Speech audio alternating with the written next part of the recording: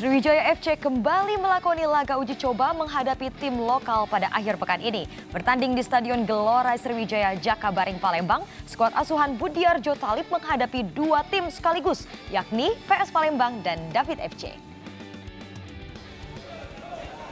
Sriwijaya FC menjalani laga uji coba dalam format Trofeo Team dengan menghadapi tim lokal PS Palembang dan David FC di Stadion Gelora Sriwijaya Jakabaring Palembang.